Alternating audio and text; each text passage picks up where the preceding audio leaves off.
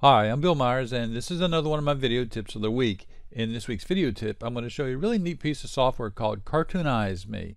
And what Cartoonize Me does is it'll take a still image and create a realistic looking cartoon from that image. That's what you're seeing on the screen here. Here's the original photograph and here's the cartoon image. Now if that was all that it did, it'd be okay. But it does more than that. It'll actually do the same thing to videos. That's right, you can use Cartoonize Me to convert videos into cartoons, and they're really nice looking cartoons. Now, if you go to their site, which I've got a link in the article below, you can see the examples of the images here, and you can find a link to the video samples. Now, if I click the video samples, it's going to take me to YouTube, and I'll show you a couple of samples there. Now, this is a cartoonized video. You can see that it looks like a real cartoon. Now, they have other samples here. Let's select this one right here. And you can see that. Again, it's a cartoonized video. Now you may be wondering how do you do that. I'm going to show you how to do that right now. First thing you want to do is to download the software from the Cartoonize Me site. And here's the link to the software right here. It is a demo version, which means that after you download it, you'll have to contact them to have them send you the registration keys. Right now, there's no charge for the keys, so it's worth doing.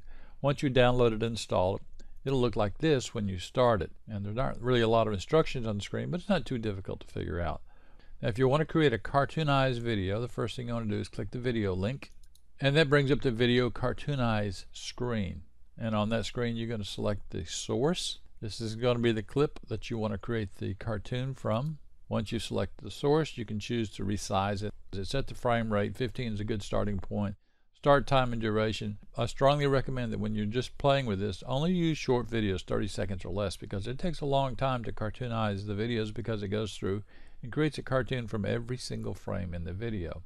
Once you've got this done, click Denoise and then Extract Frames and Audio. And it tells you you're going to extract them and tells you what folder it's going to put them in. You click Proceed and click Yes. So after you've extracted all the frames and audio, you would think that you go down and run step two, but you don't. What you do is close this window down, come back over here, and choose the folder where you've just created the frames in, and we're going to cartoonize that. But before we do, we're going to put a check in all pictures in this folder. We're not going to put a check that says starting from this picture. We can overwrite existing pictures if you want. We want to make sure the output is JPEG and then down here put a check in PIE and then press cartoonize. Once you press it, you might as well go for a long walk because in this short clip that I've done, which is less than 40 seconds, there's 725 frames that it's going to have to create cartoons from.